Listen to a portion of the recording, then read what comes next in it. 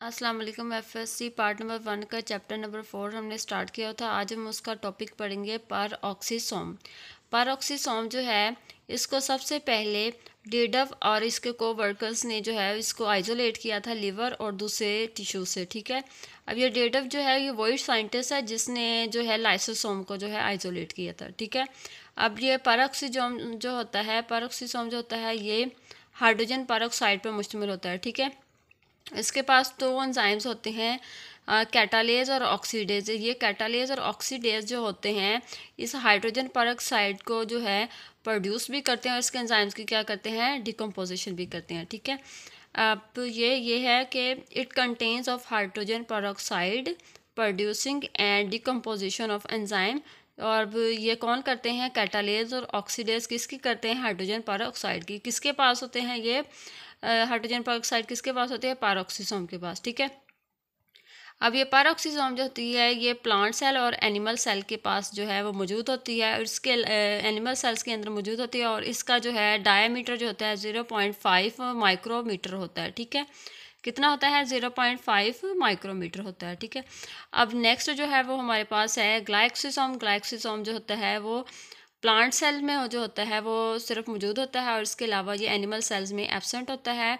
और ये जो ग्लाइक्सिसोम है, ये लिपड कंटेनिंग सीड जो हैं, जिनके पास होते हैं, उनके पास ये ग्लाइक्सिसोम ज़्यादा अमाउंट में पाया जाता है, ठीक है? यानी कि it is present in plant cell only absent in animal cells most abundant in lipid containing seeds और वो कौन से सीड्स होते हैं? कैस्टर सीड्स और सोयाबीन सीड्स ठीक है? इसके बाद ये जो प्रोटीन कंटेनिंग सीड्स होते हैं, उनके पास ये ग्लाइक्सिसोम जो होती है, वो एबसेंट होती है। अब ये ग्लाइक्सिसोम का रोल क्या है?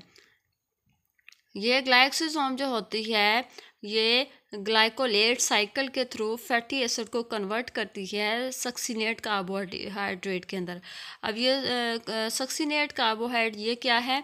ये जो है, सीड्स की जर्मिनेशन के लिए इम्पोर्टेंट होती है, ठीक है? फैटी एसिड जो है इसको कन्वर्ट किया ग्लाइक्सिसोम ने ग्लाइकोलेट साइकिल के थ्रू सक्सीनेट कार्बोहाइड्रेट में ठीक है? अब इसका क्या है ये कि it convert of fatty acid कौन कन्वर्ट कर रहा है? ग्लाइक्सिसोम कन्वर्ट कर रहा है। किसको? फैटी एसिड को into succinate carbohydrate succinate carbohydrate में जो है इसको कन्वर्ट कर रहा है।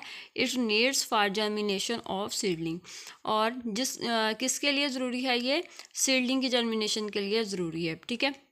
हमने, मैंने आपको ऊपर बताया था कि ये जो ग्लाइक्सिसोम जो होता है, वो लिपड कंटेनिंग सीड्स के अंदर ज़्यादा अमाउंट में पाया जाता है, ठीक है? अब ये फैटी एसिड क्या है? ये लिपड ही है जो कि इसको कन्वर्ट करता है कन्वर्ट हो जाता है सक्सीनेट कार्बोहाइड्रेट में। कौन करता है? ग्लाइक्सिसोम, ठीक है? ये था हमारा आज का लेक्चर उम्मीद है आपको समझ आ गया होगा। अल्लाह हाफिज़।